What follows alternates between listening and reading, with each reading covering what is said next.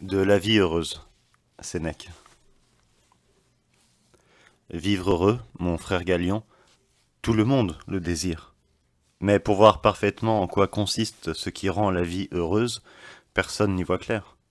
Et il est si peu facile de parvenir au bonheur que chacun s'en éloigne d'autant plus qu'il s'y précipite avec plus d'ardeur, pour peu qu'il s'écarte de la bonne voie. Et lorsque la nôtre nous mène en un sens opposé, notre hâte même accroît la distance. Il faut donc étudier en quoi consiste l'objet de nos aspirations, pour examiner par où nous y tendrons le plus rapidement, et nous verrons en cours de route, pour peu que nous ayons pris la bonne direction, combien on en abat chaque jour, et combien nous nous rapprochons de l'objet vers lequel nous pousse une tendance naturelle.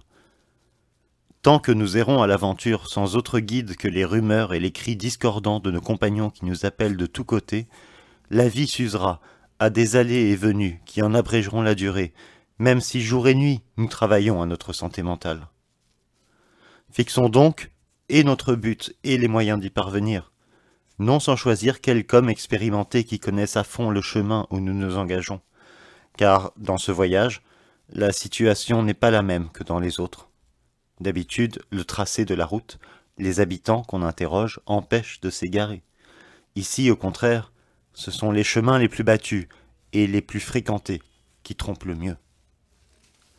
Donc il faut, avant tout, nous bien garder de suivre comme des moutons le troupeau de ceux qui nous précèdent, en nous dirigeant non où il faut aller, mais où l'on va. Pourtant, rien ne nous plonge dans de plus grands mots que de nous régler sur la rumeur publique, avec l'idée que le meilleur, c'est ce qui est reçu par l'opinion générale, de prendre modèle sur le grand nombre, de vivre non d'après la raison, mais par esprit d'imitation. De là cet amoncellement d'hommes qui s'effondrent les uns sur les autres. L'accident qui survient dans une grande cohue, quand la foule s'écrase elle-même, personne ne tombe sans entraîner son voisin, et les premiers sont à la perte des suivants. Tu peux le voir se produire dans toute existence. Personne n'erre seulement pour son propre compte, mais on est la cause et le promoteur de l'erreur d'autrui. Ainsi, c'est un danger de s'attacher au pas de ceux qui nous précèdent. Chacun aimant mieux croire que juger quand il s'agit de la vie. On ne porte jamais de jugement, on se borne toujours à croire. Nous tourbillons-nous et roulons dans l'abîme, par la faute de cette erreur qu'on se passe de main en main. Ce sont les autres dont les exemples nous perdent. Nous guéririons pourvu que nous nous séparions de la masse. Mais, en fait, Contre la raison, le peuple s'érige en défenseur de son propre mal. Aussi se produit-il le même phénomène que dans les élections, où ceux mêmes qui ont désigné les nouveaux chefs s'étonnent de les voir élus lorsque le vent de la popularité a tourné. Les mêmes choses sont l'objet et de notre approbation et de notre blâme. Telle est l'issue de tout jugement qui est rendu à la pluralité des voix.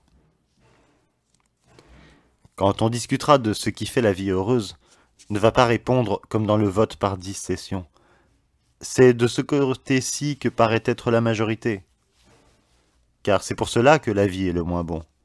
Les affaires humaines ne marchent pas tellement bien que les meilleures solutions plaisent au plus grand nombre. La preuve du pire, c'est la foule. Cherchons donc ce qu'il y a de mieux à faire, non ce qui est le plus en usage. Ce qui nous mettra en possession d'une félicité éternelle, non ce qui est l'approbation du vulgaire, le plus mauvais interprète de la vérité. J'appelle vulgaire indifféremment les gens qui vont en manteau de pluie et ceux qui sont en tenue de fête. Car je ne regarde pas la couleur des vêtements dont le corps est voilé. Je ne me fie pas à mes yeux quand je considère l'homme.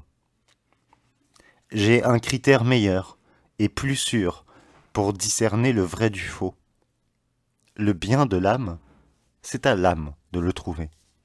Celle-ci, si on lui laissait le loisir de respirer et de rentrer en elle-même, ah, que les tortures qu'elle s'infligerait à elle-même lui feraient bien confesser la vérité et déclarer Je voudrais que tout ce que j'ai fait jusqu'ici ne fût pas encore fait. Quand je pense à tout ce que j'ai dit, j'envie les muets. Tout ce que j'ai souhaité, je le regarde comme une malédiction de mes ennemis.